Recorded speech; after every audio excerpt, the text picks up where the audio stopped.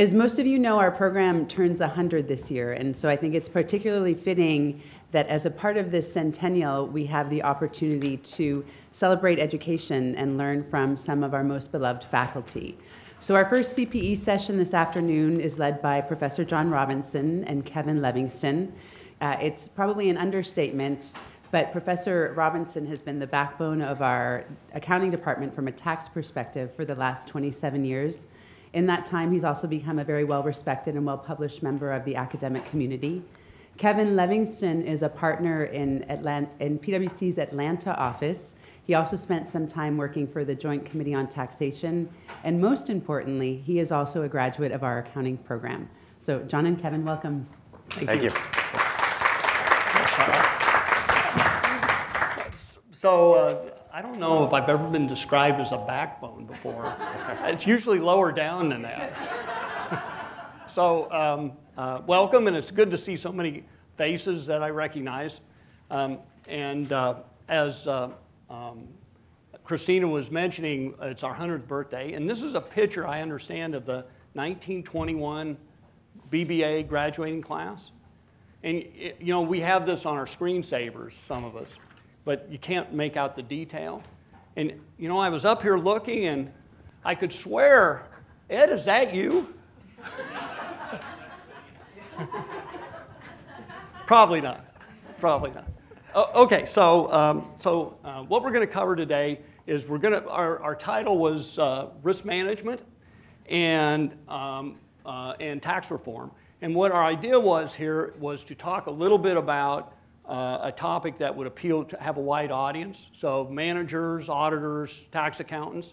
And so what we're trying to do is, uh, uh, is give you an idea of where the risks are. And if you are in, interested in governance from a management perspective, an audit perspective, uh, it would give you some uh, inclination to understand how taxes affect risk.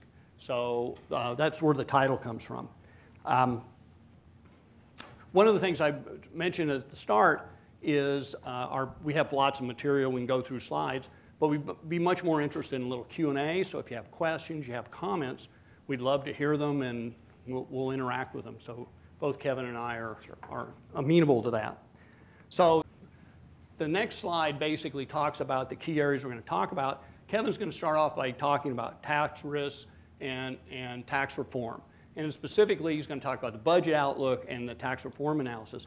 Kevin's experience uh, was two years in a joint committee in Washington. And so he's well qualified to talk about where we've been and where we're going. Uh, then I'm going to talk about some specific areas in judgments for uh, accounting for income taxes. Specifically, we're going to talk about uncertain positions, indefinite uh, uh, reinvestment assertions, and valuation allowances, if we get that far. But we'll go, like I said, as fast as you want us to. Um, we got lots of content here, so there's no hurry. Now, to sort of put this in a little bit more context, uh, we have this slide. And basically, what this slide's trying to do is identify the various areas of tax risk that, uh, when you're operating an enterprise, that you might worry about. From an operational viewpoint, what you're really talking about there is hiring, training, and supervising your employees and making sure you retain them, making sure you have the policies in place to uh, control your tax risk, you have the expertise in place to identify tax risk. Uh, from an enterprise situation, you're talking about uh, your reputation, your ability to interact on a multilateral setting with your, with your clients, uh, tax and strategy, uh, and how that uh, interacts uh, between your business strategy and your savings. we're going to focus on regulatory. In particular, we're going Kevin's going to talk about legislative changes. And my three areas are judgments in terms of doing financial reporting for taxes. Uh, but, uh, but you could also talk about from a transactional viewpoint. From a transactional viewpoint, your, ta your, uh, your tax risks come in because you're uh, engaging in transactions, most companies in multiple jurisdictions. If you're not global, then you're going to be multi-state. What you have there is multiple uh, tax um, laws, and they're evolving over time, so you have to keep on top of those, that, that evolution. Moreover, with the tax authorities, they're evolving over time. Now that we have our, our problems with our budgets, as we're going to see in a minute, the tax authorities are becoming much more aggressive. And so you not only have to keep a tab on how these taxes are influencing you from a multi, uh, from a multi uh, uh, country perspective, but also because they're in constant motion. Yeah. Kevin? Yeah, and, and the only thing I would add, just maybe, a, you know, we all naturally look very U.S. centric, but you know, one example is, you know, India is one of the uh, the markets that U.S. and foreign multinationals are expanding into quite a bit. And you know, we're talking with someone at a, a, a client that has operated in India for, for several years. There was a big case there, this Vodafone case, where India went uh, kind of extraterritorial and tried to tax capital gains. Uh, you know, at a level, at, an entity level, well above India. So you had uh, Vodafone had owned a holding company that owned another holding company that owned an, an Indian company, and you know shares were sold. Vodafone caught it, and the Indian government went after them. Well, it ultimately went up to the, the Supreme Court after about five or six years, and Vodafone ended up winning. Uh, but talking to this uh, VP of tax, he said, look, you know, when you're going into a place like India where things are still developing, the, the agent there, rather than necessarily trying to get to a result of, all right, here's what the tax law says, uh, we're going to apply it, which is maybe more similar to the way it's done here in the US. Right now, where it's at is that they look at it and say, all right, what is a good theory as to how I can raise some revenue here? And they're going to apply that regardless of what the tax law says. And then that, that's fine. That's what their job is to do. Your job in turn is decide whether or not you want to challenge that. And ultimately, if you continue to go all the way up to the, uh, the Supreme Court, which may take four, six, you know, 10 years to do, you ultimately will win and get to the right answer. But that's just kind of the nature of things. And that's not just in India. That's around the world where the, uh, the tax systems are evolving and people need revenue.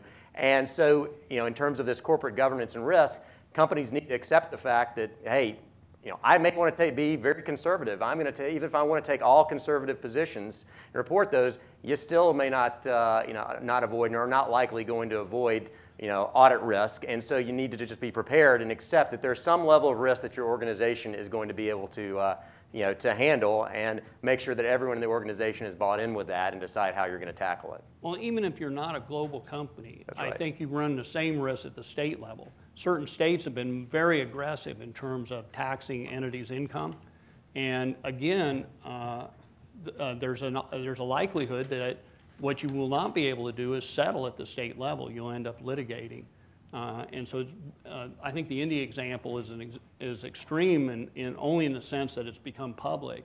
I think there are many other uh, examples that you might find where the, the tax authority simply said, we're going to take this to the, there's just too much revenue and we have too much need, so we're going to take it to the, to the bottom line.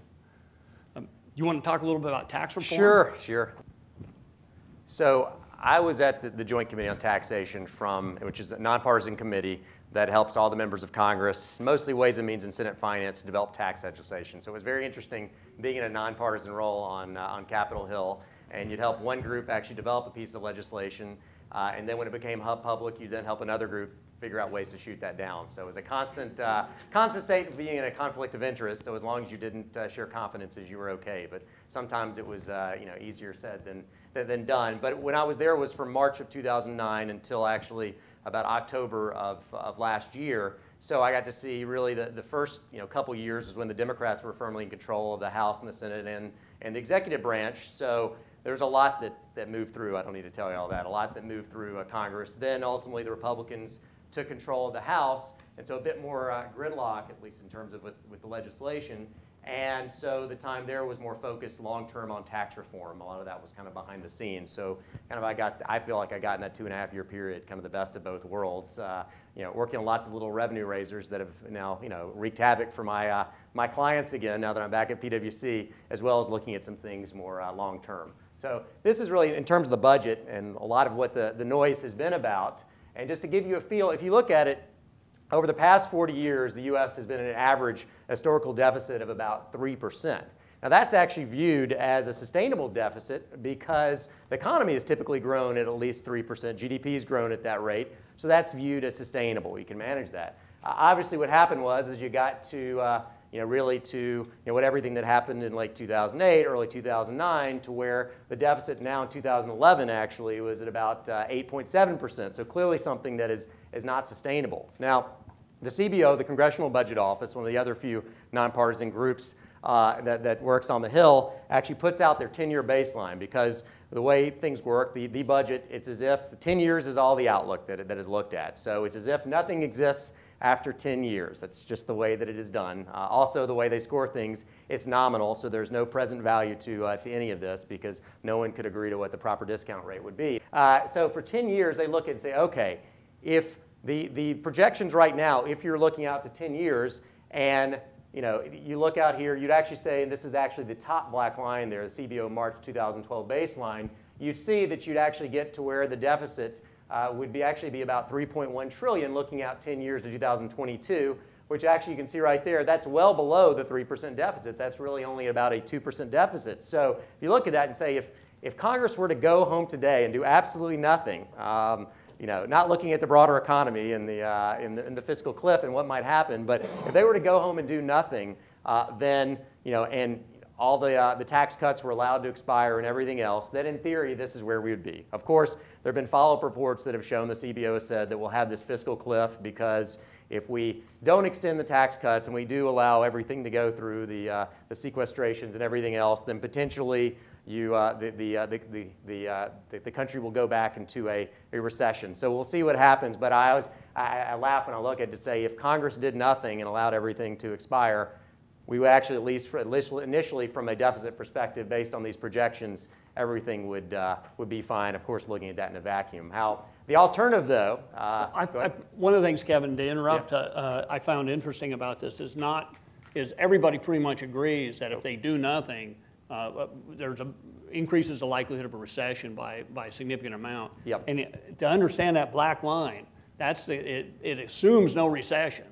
So it's uh, the baseline here, it seems to me, is, is pretty unrealistic. That's right. It does assume when they do this at the beginning of the year, it is a fixed GDP that is assumed. So, uh, so that creates a lot of, of, of, controversy. So that is you know, unrealistic. The alternative pro projection, though, looking at this in a vacuum, is that Congress will continue to do what they have always done. And you know, once something has been extended once in D.C., the general view is that it's going to continue. It's effectively permanent. It's just got to be renewed and renewed and renewed. So the alternative projection assumes that you know, everything would continue to be extended, all of the corporate tax extenders and the individual rate cuts at 35 and you know, and, and 15% and so on and so forth would continue to be extended. And really, we end up at a 12.2 trillion dollar deficit. And uh, so that's the other end of it. The other thing that's assumed here, though, is with that is that the, there's the, the Medicare doc fix, other things that are non-tax related that, you know, I think uh, most people think are, are, good that need to be handled so that uh, doctors get their reimbursements and ultimately people are being, uh, being served, as well as the AMT patch is another thing that's assumed that continues to be extended here. So it's a mix. And then in between, you've got what uh, the Obama administration has proposed, which would actually get you back to a 3% historical deficit. And that, without getting the details, that assumes that you will have some increase in spending as well as a decrease in revenues, uh, you know, to get to that level. And then you've got the, the House budget resolution, which is kind of commonly referred to as the Ryan plan, which really assumes some increase, you know, some decrease in revenues, or actually a lot of decrease in revenues, as well as a very big decrease in spending. And right, the, the devil's in the detail. There's a lot of, you know, I think you look at it and say, well, that, that's great on both both angles. Both of them get us back to a sustainable deficit or something even better than that. Uh, but there's a lot of controversy in the details of how you go about doing that. Kevin, what about the payroll tax cut that we had for two years? Where's that built in here? I would say that would be built into the, uh, you know, and I, I, don't know whether or not the CBO, you know, if they were included, I would say that would be included in the alternative projection, if anything, because, uh, right, you know, some would say now that that has happened twice, is it arguably now something that's going to become permanent? I mean, it's interesting. Chairman Camp of Ways and Means said, you know, when they negotiated on this earlier in the year to extend the payroll tax cut, he said, never again, we're not going to do this again. But, you know, I would say that's, you know, famous last words. Know, really, you can kind of look at it. Once something is extended twice in Washington, it tends to have a, you know, a, a life unto itself. So I would say it, it probably has been accounted for in the alternative projection. But it's, you know, going back here, this, uh, this top black line assumes that everything is allowed to expire. Well, and, and that would also include uh, the Medicare tax that's, uh, that's now legislated. I'm sure that's in the, in the projection. Yeah, so uh, that would certainly be included, and that's right, that would be included in, uh, in that one right there, something that's going to be out there. But, and, and obviously, the, the Supreme Court upheld, uh, you know, the you know, health care legislation. Uh, however, will you know, I think, you know, there's obviously there have been, been threats that, you know, if, if Romney you know, wins a presidency or if the, uh, the Re Republicans take over the Senate and maintain the House, combined with that, that they would somehow you know, pursue a, uh, a repeal of that legislation. And, and that, uh, that would certainly, you know, lose revenue and had to be make, made up with uh, elsewhere. So do each of these lines have different GDP? uh, all would have the, uh, the same fixed GDP assumption. So, yeah. So that's right. So that was a good point that, you know, the what's that, including the, the Ryan plan? The Ryan plan included more growth. It, it does, well, I'll say this, in terms of the way it's charted right here, now, I'll tell you, in terms of what he put out, it would assume more growth than a growth in the economy and the fact that reducing taxes and going potentially to a territorial tax system would, you know, it, you know, uh, the view would be that, uh, you know, that would ultimately grow the economy because the U.S. would be a more attractive place to invest. But in terms of the, the official scorekeeping that the CBO does, they, they will not take that into account, which is actually, I mean, I, it's, that is one of the big issues and one of the things that the, uh, that has been pushed, I mean, both sides of the aisle, but primarily by the Republicans saying, hey, this is, you know, reducing the corporate tax rate to 25% and doing some of these other things is going to make the U.S. more, uh, you know, more competitive. Therefore, there's going to be more investment. And frankly, all the scoring and the scoring that the Joint Committee on Taxation's economists do, that assumes a fixed GDP. You're not taking into account this growth in the, uh, the economy. The problem is, it's, and as I'm sure many of you know who, uh, who have dealt with economic models, it's very difficult to do that on an economy our size. I mean, a, you know, a 0.1% differential on what, you know, 14, 15 trillion dollars makes a big difference on scorings. But that is a, a, a, a a big challenge is, you know, how do you really, you know, measure what is going to be the, uh, the effect on a macro, macro perspective. So what, what does happen is, and they did do it with healthcare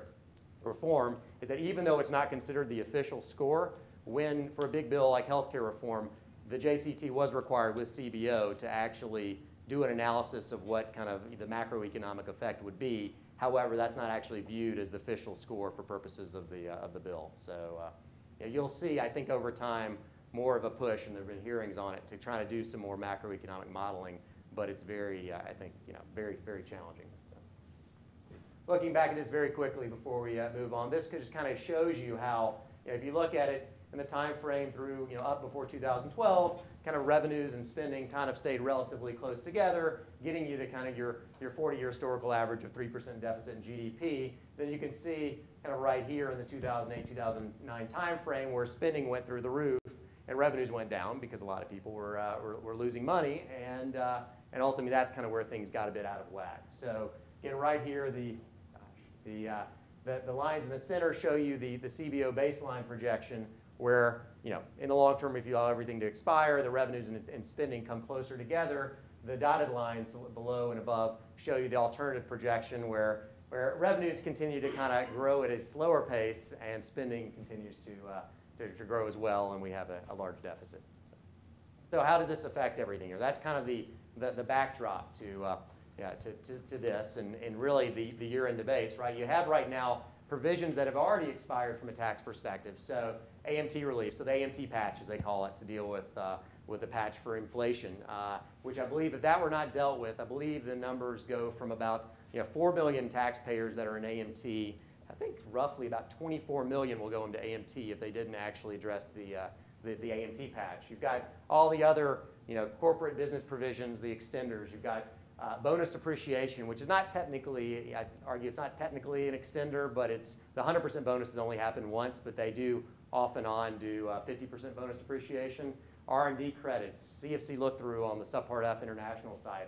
A lot of these items that are very important to, uh, mostly to, to businesses and both corporate and non-corporate.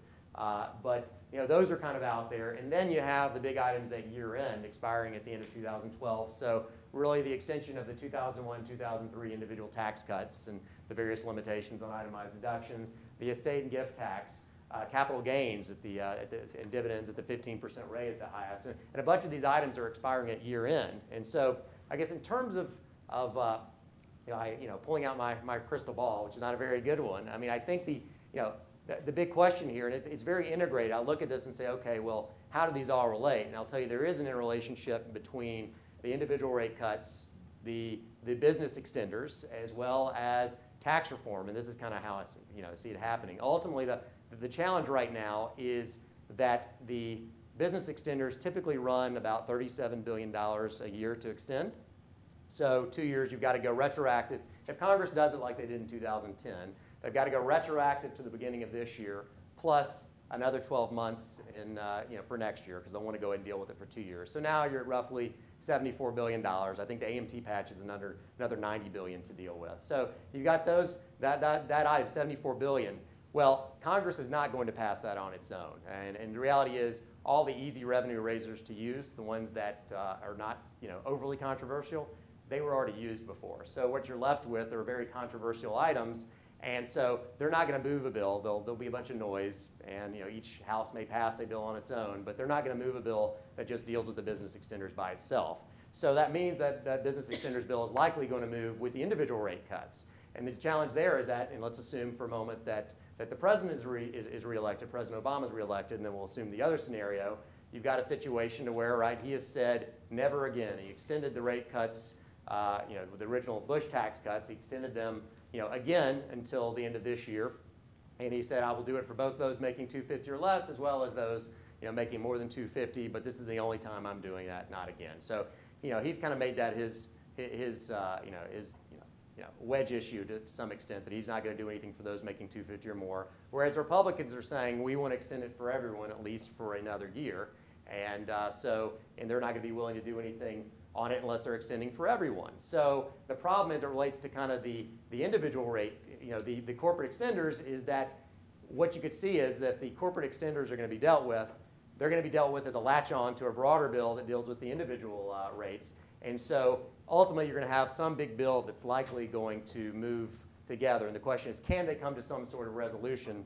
My goodness, I'm pretty bad at this. Uh, can they come to some sort of resolution in the lame duck session of Congress, which is really, the lame duck is the period after the elections. So right, what happens is the election's early in early November, people come back, a bunch of people are out of office, they spend a couple of weeks reshuffling their uh, who's in what office, who's losing office space, and you know, on top of that, they're supposed to deal with with the, uh, the, the, individual cuts. They're supposed to deal with everything else, the Medicare doc fix, the fact that you've got the sequestration of uh, $1.2 trillion in across-the-board spending that's going to, you know, half of that's hitting defense that's actually going to go into effect in January. So there are all these things that have got to be uh, dealt with by year end. That's where you know people, people typically call it the fiscal cliff. Uh, one of my colleagues decided that fiscal maelstrom sounded better. I think that's uh, debatable. That sounds pretty, uh, pretty rough as well. But that is the issue that's got to be dealt with. So some have said that if, if Obama is reelected, you actually might have a better chance for all these things to be dealt with by 1231 because they'll realize that basically, by and large, the same people that are sitting across from one another at the table uh, today are going to be the ones that are sitting across the table from each, from each other in 2013. Uh, however, there may be lesser chances for tax reform if that's the case because they'll deal with the extenders and continue to you know, you know, pass the ball down the, uh, the, the, court for years to come. Uh, but you know, who knows whether or not the president is really going to make in his second term is going to make tax reform something that is initiative for him. On the other hand, if, if uh, Romney is elected and you know, the House and Senate say roughly close to one another, maybe the Senate is, you know, the, the Republicans take control of the Senate, but it won't be a filibuster-proof control. At that point, there may be a greater chance that nothing does get resolved by 1231. It may go on into early next year because the, basically those with the winning hand, if it were the Republicans, are going to know that they're going to get a better deal in January or February, really February when, uh, you know, when, uh, you know, everyone new takes office. So that might be you know, a bleaker outlook for, you know, for extending the individual rates cuts as well as dealing with the corporate extenders before year end. But if you have everyone from, uh, from, uh, from one party, that may actually be a greater outlook for purposes of something happening in tax reform. The counter to that is that some say that you need a second term president to be able to get through uh, tax reform because it uh, is so costly politically. So uh, we'll see what, uh, what happens there. Uh, John, anything else you would touch on? Uh, yeah, I, th I, think you have to separate this idea of tax reform from the from the extenders and the you know the the Bush tax cut because what a lot of people are talking about is actual reform of the of the code, simplifying it uh, and reducing the rates. And so I think there's virtually no chance of reform uh, in the short term. Uh, and the only chance you have is perhaps reform in a little bit longer term. Yeah, and, what, and where this does play in, though, is it, it sounds very good, and we'll see what happens. Uh, you know, the House put out a bill just before the August recess to where they said, look, you know, we're going to go ahead, and it was simultaneous. They passed a bill that would extend all of the 2001, original 2001, 2003 individual tax cuts through the end of 13 to avoid the, the fiscal cliff, if you will. Uh, and at the same time, also dealt with the AMT patch as well as, uh, you know, and, and ultimately I would envision they probably would add, by the end of the day, they would add business extenders into that as well if that moved forward. But the plan was to pass that and say, all right, we are going to just go ahead and do this unpaid for for another year. However, simultaneously, they passed a bill that said, that mandated for this fast track approach to tax reform. And it sounds very good, you know, in, at least, uh, you know, in theory, to where, you know, the, the House would be responsible for, you know, for, you know, ways and means for generating a bill that would, number one, it would uh, limit the individual tax brackets to 10% and 25%. It would re reduce the corporate rate to 25%. It would limit revenues as a percentage of GDP to 18 to 19%, which is typically a, a, a, Repub a, Republican congressional mantra. They really believe it should be there. Democrats really more 23 24%. And uh, it would permanently, it would repeal AMT permanently as well as get to a territorial tax system to where for U.S. multinationals, foreign earnings wouldn't be taxed upon repatriation to the, uh, to the U.S. So a bill would have to be, produced by Ways and Means. Uh, that would then go to the chairman of the Joint Committee, which, oh, by the way, is Dave Camp, who also is the chairman of Ways and Means. So he would have to sign off on it that it did accomplish that. It would then go through the process on the House floor, then go over to the Senate. There would be less of the, you know, there would be one final filibuster, but it would be a simplified process to where it would be more of a simple up or down vote on it after debate in the Senate. And the idea would be that you'd have some sort of tax reform by the end of, uh, of, uh, of, of, of 2013. And so the idea there is that would allow, if they did pass something like that, that would allow Congress, maybe with a straight face, to look to the American people and say, yes, we're extending everything again for another year, unpaid for. Maybe it's going to be another $800 billion bill unpaid for. But look, we've also passed a, you know, this expedited approach to tax reform. And over the next year, we're going to try to clean everything up. And it, it does sound very good. And you know, maybe that will be the reality of the path forward, what Congress will do.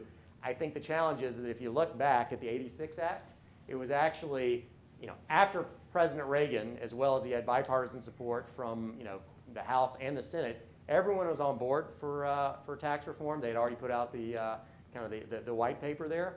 It took two years to deal with the details of a proper tax reform in the code. So it, it makes you wonder, is it very realistic that Congress at the end of the year does, you know, that's fine, they passed an expedited approach to reform. Can they really do something uh, in that short of a time frame? Now, I will tell you that you know, when I was up there, I was working on some aspects of international reform before I left, the Chairman Camp's territorial bill that was put out. But there are a lot of other details. That's just on the, the, the international side. What about all the domestic uh, base broadeners that would need to be used to do a rate reduction? What about everything on the individual side? It's a, it's a real challenge. Well, in 86, too, you had a very popular president who, had, right. who had a lot of, uh, uh, was very good at using the bully pulpit. And so he could gather public uh, support for a tax reform. Right. And that, it remains to be seen if, if either of these candidates would, would have that kind That's of power. right. Plus, like individual rates were through the roof, so he made it very clear and right to the American public that he was going to, you know, basically he was going to reduce the burden on individuals. That was his mantra, and shift it to uh, corporations. He also had the investment tax credit, which was, you know, he was able to to basically, you know, get rid of that and use that to pay for an awful lot of things as well. So it's it's a bit of a different environment now. So, so uh, you know, looking at this really in terms of kind of some of the factors of, of, of reform, you know, you, you know, people would say based on past history, you need you know presidential leadership there as someone you know, you know behind it. Uh, President uh, Obama did put out kind of his proposal for business reform alone. I think, and, and really kind of focusing more on corporations. I think, given the right that you know these days, I think in excess of 50% of business activity is operated through flow-through entities or on, you know, or individuals on their Schedule C. You've got more and more LLCs, S-corps, uh, you name it. Uh, so it's, it's very hard. I think that, that others on the Hill and others have said, look, it's really not realistic. You cannot do business or corporate reform without also addressing individuals because, right, there, you know, individuals are in businesses. So, you know, how do you just, you know, if you really want to raise the revenue, are you really going to, you know, if you're going to do something on accelerated depreciation to repeal that for corporations, well, what if you have a, a partnership that has, you know, a flow through and uh, an individual and a corporation that are engaged? It gets very complicated. And also, it's not going to be very politically popular to take away from individuals, the, the voters, to, uh, to, uh, to provide a, uh, you know, a lower rate reduction to corporations. So I think you know, most, most people behind the scenes acknowledge the fact that you need to deal with all this together. Um, really, there, there is pressure, though. There's a lot of discussion. The U.S. now has the, the highest uh, you know, statutory rate in the world, with Japan reducing their rate. The U.S. at 35% plus state gets you close to 40%. That's the highest in the world. And I think even if you look at effective tax rates, we're still up there, maybe not the highest, but pretty, pretty close. So there's a big pressure on U.S. international competitiveness. Uh, you know, and you know, there's a lot of debate on whether or not, you know, I think, uh, you, know, you know, academic scholars disagree as to whether or not that's something that's the idea of competitiveness is, is, is bogus or if it's, if it's valid. But it's something that I will tell you in the past year has certainly, you know, you know, taken hold on both sides of the aisle. So, you know, the elected officials at least believe that it is a, an issue. And then you've got, as I mentioned before, the expiration of the, uh, of the tax cuts. So that really could kind of, you know, push things into, uh, you know, expedited process of reform. I would tell you, though, the big issues are, is this going to be part of deficit reduction or is it just going to be revenue neutral? Back in, in, 2000, in 1986, it was a revenue neutral uh, proposal. Um, however, it was not burden neutral, right? I just mentioned before, you shifted the burden from individuals to corporations. So how will they go about doing that now? Will they, you know, will they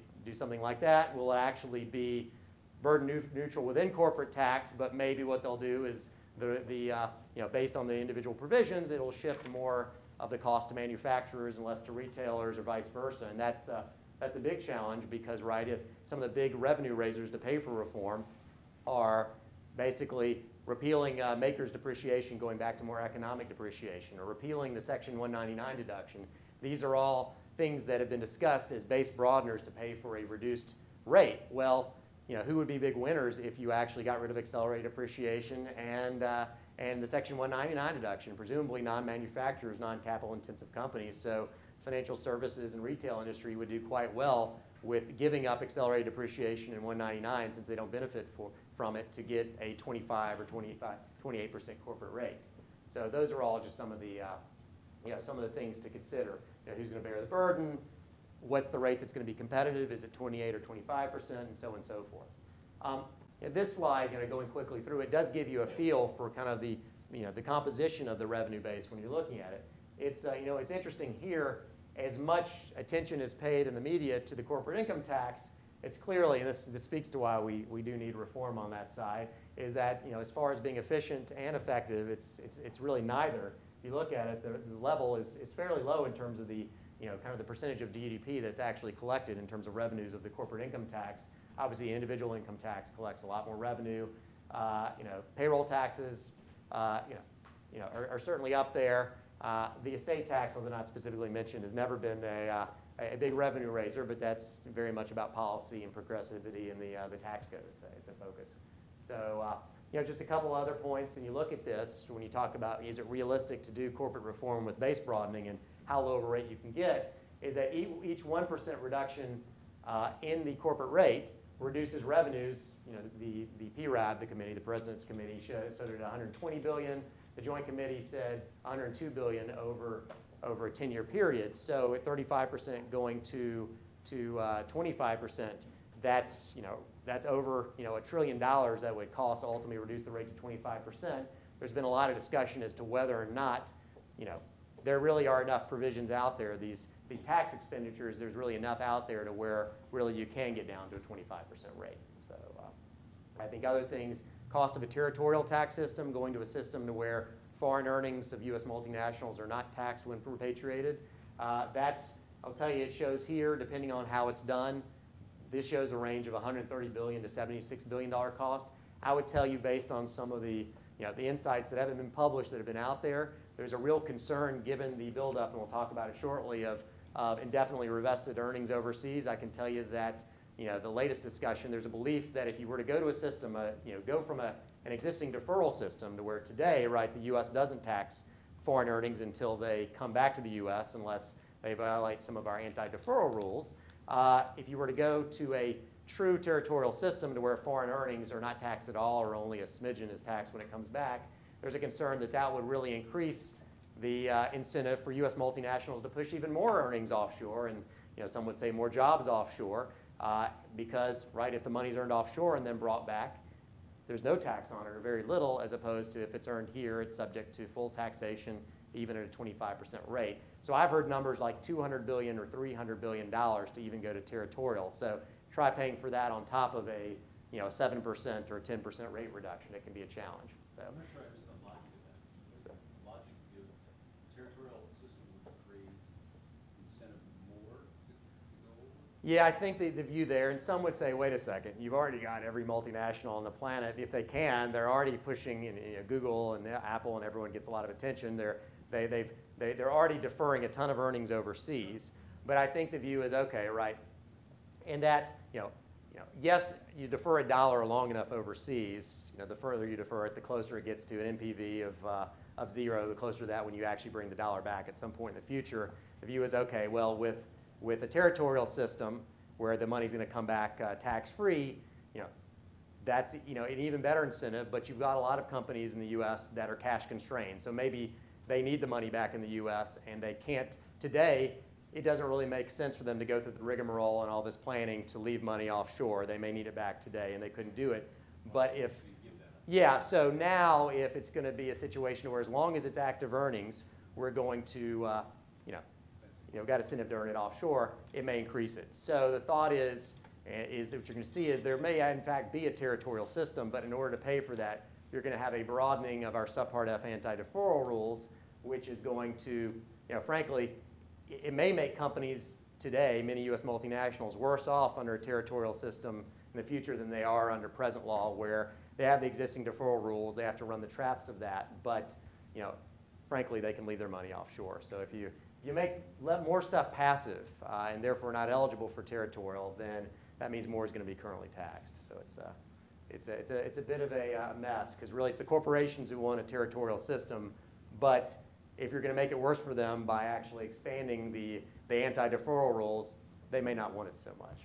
I think at the same time, if you were to go territorial, you would start to reduce our corporate tax rate so that we don't have the incentive. That, that's right. And so the issue is, is, is that's a good point, is what is a low enough rate, right? So 25 seems to be the, uh, you know, the, a lot, the number that a lot of people are coalescing around, 25%. You'd get it more in line with the OECD averages. But, you know, admittedly, many of uh, the U.S. multinationals, right, that would be great for their U.S. income, but because they're earning money, a lot of money, let's say in Ireland at a 12.5% rate, or through other planning, maybe their effective rate is actually down at, you know, 7 or 5%, you know, what are, you know, what is a low enough rate to actually, uh, you know, you know, prevent that, that migration of profits offshore? So uh, I would say that would not be the official view of, of PwC on, on those matters, nor necessarily mine. I think that's, that's the argument against it. The other side is, right, if you do reduce the, uh, you know, the rate and you get down to something more competitive, that will cause the rest of the world to invest more in the U.S. And frankly, if you look at our competitors, uh, the view there is, hey, all of them are, have realized that maybe the corporate tax is not really a good way to raise revenue. There should be a value-added tax or something else. And all the other you know, countries in the OECD do have a value-added tax. So that's one of the other you know, ideas that, okay, yeah, maybe territorial will cause this, but frankly, we need to be looking at another revenue source. So I think it's best to turn it over to uh, you for the remaining time that we, uh, that we we can, have. yeah. Unless you, uh, you know, I think, you know, really, this is just a, a, a summary of some of the proposals that are out there. They're very, I think you're going to see, you know, something done with individual rates in the long term. I mean, we'll see if there is a reform. I think there is going to be, I do believe that both sides of the aisle, even though the president and the, their, their platform has not come out in favor of a territorial, uh, you know, you know, bill, I do think behind the scenes, I think there probably is agreement that the U.S. will eventually go to something territorial where foreign earnings that are active are not taxed. The question is how tough will it be? Is it going to be one to where there are lots of offsetting things and where multinationals need to pay for it themselves with maybe an expansion of our Subpart F anti-deferral rules? Or, you know, it's going to be something that's a little more lenient? Uh, and then everyone discusses moving, reducing the rate to either 28% or 25% with base broadening, but you know, quite frankly, no one wants to talk about the details of how you broaden the, the, uh, the domestic tax base because that would be very politically unpopular in a, uh, an election year. I think one of the things to notice too is where are the big tax expenditures? Because that's the only That's- way they, yeah. that's the only way they pay for this. Well, that, that's right. So maybe that's one to, to point to quickly. You look at it, right, you've got MACRS uh, getting rid of accelerated depreciation for more, econo- for more economic depreciation. Uh, that's $500 billion, repealing expensing of uh, research and experimental expenditures, R&E, 150 million, Section 199 repeal, 120. The problem there is that if you look at it, this is the corporate expe- expenditures, the, uh, the business ones really amount to maybe, you know, you know, a fraction of, uh, you know, maybe, you know, not even, you know, I would say not even a, you know, maybe a tenth of all the expenditures. The rest come in with individuals. So it's charitable contribution deductions, mortgage interest deduction, the employer-provided health care exclusion. So that is the issue that, uh, that it's, it- it's going to be a real challenge to pay for this. And there's no way you're going to have a corporate rate reduction on the back of individuals. It's just politically not going to happen, and neither side is going to support that. Well, we could uh, talk a little bit about specifics of, uh, of uh, judgment. And I thought what I'd do here is, um, which one moves this? You seem to, this guy, okay, this guy does, okay. Something else moves it too. I think. Yeah, uh, yeah. Seem to have a mind of its own. So I thought what we do here is, oh, let's see if we can go back. Uh, Basically, just chat about three of the areas in, in tax accounting that, where the most judgment is involved. Uh, We thought that this would be interesting from both a a managerial po- viewpoint, where you need to exercise judgment, from an auditor viewpoint, uh, in, in the sense of this is where your, where your tax risks are. Um, So we're going to talk just briefly about uncertain tax positions, uh, indefinite reinvestment assertion, and then value, evaluation allowances. So, mo- and, and most of you probably have heard of these things before and, and have some background. Um, in terms of uncertain tax positions, basically these are positions in which you're not sure the tax benefit is going to uh, be accrued, and you have a more likely than not standard that you apply. And of course, there's this uh, appropriate level of measurement, recognition and measurement, the two-step test. I don't want to go through all the mechanics. Instead, I'd, what I'd like to do is kind of point out some things that, that you should probably focus on. One of the first things you should understand about uh, uncertain tax positions is you do need to document these things. Uh, in, uh, in terms of being an auditor or a manager, you need to have a sufficient documentation to be able to identify both the uncertain tax position and to the, the extent that you're going to reserve for those. Um, this is where it comes in with, with tax reform and the various um, um, changes in the law. You need to be able to monitor those uncertain positions. And it's not just the legislative changes, you also have to monitor administrative and judicial changes. So it's like constantly uh, staying on top of this uncertain position, whether to uh, release the reserve or whether to increase the reserve.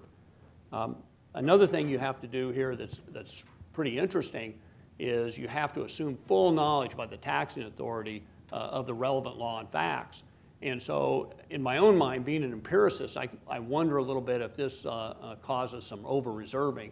We're seeing some pretty big uh, FIN 48 reserves, and it's possible that may have something to do. In fact, I don't, uh, Kevin and I were chatting about this earlier, uh, that what may be happening here are, companies are actually over-reserving because of FIN 48. Yeah, and I don't, and I, I do believe that they're trying to get to the right answer. But, you know, one area that's a real challenge, you know, we see is something that I, I'm guessing is a big one, is in the space of transfer pricing. So you've got intercompany pricing, and so you've got, and I, you have economists that come in and determine, that, you know, here's the price going from the U.S. to my Canadian subsidiary, and ultimately, you know, here's the price that we're going to charge, and maybe the appropriate range on the sale of this product is maybe it's a markup between two and five percent. So as long as you're within two and five percent, that's something that is acceptable. But we know with transfer pricing, that's something that always goes to audit and is always challenged.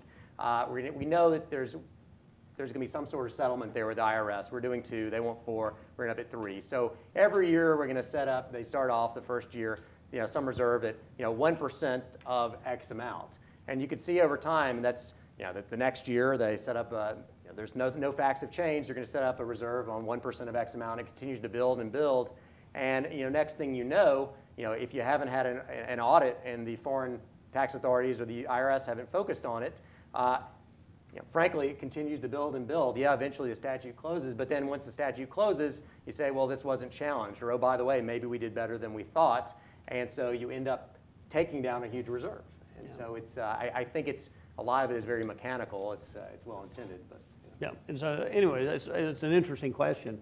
You notice I didn't, the last one, I didn't touch this thing and it changed. It's not, it's not us. But we want to talk just briefly about effective settlement. Uh, Basically, what happens here is at what point do you release that reserve? And the, the point that's in the codification is the term effective settlement. essentially, this, this means that you believe that position has been settled, whether on appeal or through litigation. Obviously, if it's been litigated and you have a final uh, disposition of it, you have settlement. But you could see, you could at some point uh, have to use judgment to assume it's effectively settled. Typically, what they do is they, they uh, think about examination. Has the examination been completed? Are there, is there any remote chance that it will be re-examined? Uh, is there some uh, potential for appeal or dispute resolution? All of those things have to be have to be resolved in order for you to have effective settlement. Now, understanding what effective settlement does here is you're releasing a reserve. So essentially, that's going to give you quite a tax benefit. So again, judgment's very important here. Um, one of my uh, favorite areas is indefinite reinvestment. And uh, let's see if I can get this guy to go. Now it won't work. Here's a, this slide has a little bit of background. Perhaps some of you know this. If, if you have earnings offshore, uh, typically what you have to do is you have to accrue a, a tax liability uh, to represent the taxes when those uh, earnings are repatriated uh, domestically. Well, the indefinite re, uh, reinvestment assertion allows you to basically to avoid having to accrue any taxes on that. And so it's really just a book entry. It doesn't have any tax effect per se. Um, the, the current landscape, though, is pretty interesting here. Some of you may have seen a report by J.P. Morgan here recently that said that 60% uh, of liquidity for multinational corporations actually sits offshore. And the study, uh, actually, I looked this up before we came over, 602 multinationals actually have almost a trillion dollars of cash offshore, according to the disclosures this year. And Apple, of course, is the poster child for this. They disclose they have 74 billion offshore. That's cash offshore, and that's 60% of their cash in total. So you can't repatriate it because uh, not only does it trigger a tax liability, but it, more importantly, it triggers a tax expense. And unless you make this indefinite reassertion, indefinite reinvestment assertion, uh, you'd have to accrue the expense number. Yeah. Tying Um, that back to tax reform, you can imagine why many U.S. multinationals either want a temporary holiday again, which happened back with the Americans Jobs Creation Act uh, uh, in you know, 2004 timeframe to really uh, you know, to be able to bring back all their foreign earnings at maybe an 85% dividends received deduction, or alternatively go to a territorial system where you can freely move cash back, and they argue for it. The downside is, you know, what's going to be used to pay for that. So valuation allowances, we have a couple of extra slides here, but what I'll do is basically point out to you that if a company has deferred tax assets, these are typically unused credits or carry, loss carry forwards, uh, especially when they're showing a net DTA position, that is their deferred tax assets are greater than their deferred tax liabilities, then you have to consider a valuation allowance, which is a contra asset. And there's positive and negative evidence, and I, I won't bother to cover those. Instead, what I want to do is kind of get to the payoff here, is when can you release the valuation allowance? This is very similar uh, to any uh, valuation allowance release. What's going to happen is it's going to go directly through to income, in this case through uh, tax benefit. What's interesting here is, is exactly what does it take to get a release and again, it's an area of, of, judgment. Looking back at the, the weight of the evidence, you're supposed to weigh the, the, uh, the negative evidence against the positive evidence to make this evaluation. And so obviously there's a lot of judgment involved. The last question I was going to ask here is a, is a partial release possible? Uh, unlike um, if you think about accounts receivable, uh, you can think about a, a, receivable that's partially collectible and you might have a partial release of the allowance. But here, basically, it, it takes special circumstances to have a valuation allowance that has a partial release. Uh, essentially, you're valuing an asset, the DTA, and it's either either uh, um, uh, been uh, uh, reserved or it hasn't. That's right. And oftentimes, NOLs, capital losses, maybe there's been a, you didn't think you were going to be able to use them before the expiration period, but then all of a sudden maybe you know, the foreign government extended the expiration period, the carry forward period for a few more years, so maybe there's a release as a result of that. Uh, but it's a, you know, this is a very touchy area. And uh, I guess member of your, your faculty now, uh, you know, Jeff Johans, who's teaching here, actually was, uh, not to put him on the spot, but he was our national office, and I remember we would actually, he would be on the front line when the audit teams would go and actually consult, and these would get very emotional I mean, very emotional issues for companies and for the, the audit teams, right? They want to release that valuation allowance, or alternatively, they don't want to have to put up a valuation allowance. And of course, the local account team, I, I would be on, you're, you know, you're, you're pushing back and forth to the client, but naturally you, you, you- you feel like a little bit of an advocate. And you'd have to call the national office, who's responsible for all quality of the, uh, the firm, to make sure that uh, you know, we don't get in trouble with the SEC or PCAOB. And you'd have these consults where they would really push back on you the way they're supposed to. And so he had the, uh, the pleasure or the, uh, you know, maybe the, uh, you know, not so much fun of having to uh, deal with many uh, consults and, and, and addressing all of that. I know I retired. What's that? Yeah. I know I retired. It seems to be kind of a hot topic in that, uh, it's pretty hard to audit future projections versus getting a three-year look back. And the actual methodology that's being administered is hard for companies to understand. Well, and one of the things I, I think that you're, that they, uh, uh, that they look at closely, at least when I was at the SEC, you look at the projections you're making in your financial statements, and you ask, are you making those same projections for your valuation allowance projections? Uh, And so, you know, it, uh, what you want to do is be consistent, I think, to to have the strongest case. But Yeah. in all these areas, it's judgment, it's facts and circumstances. And so uh, I can't imagine how difficult it, it could be to audit as, as well as management. Yeah. uh, But you have the valuation allowance, it's more complicated because you have a state valuation. Yeah, That's right. You get all the states as well. multiple jurisdictions. Yep. And, and constantly moving. Yeah, and then projections are in terms of the evidence of whether or not you need a valuation allowance or can release, I- you know, projections are, mo- uh, of those things you look at, it's, it's the, it, it, you don't want to have to rely upon projections ideally. You want to show that you have other deferred liabilities that are turning or tax planning ideas or other things there because, right, you're kind of in looking in terms of evidence, projections are considered to be the most subjective. So uh, I found that typically when we were having to call the national office and pointing just to the client's projections as being very rosy as to why they should be able to release a valuation allowance, I think the people on the other end of the line were oftentimes trying not to laugh at you. So, uh, but there were circumstances when you looked at. I mean, I had a, you know, the where, you know, based on kind of looking at core earnings, and uh, that maybe there were anomalies that actually, you know, I've seen circ- circumstances to where based solely on projections, a valuation allowance could be be released, but it's a very touchy area. In a practical matter, it seems that the, uh, it's become a binary issue. It's either all released or not none released until proven otherwise. In, yeah, in, in many circumstances, and in fact, in probably, oftentimes, that is, by and large, that is the case with a couple of. Kevin and I will hang around for questions if you have, if you have more, or, and of course, I will bring Jeff in as a real expert in this area. Uh, So thank you for your attention, and um.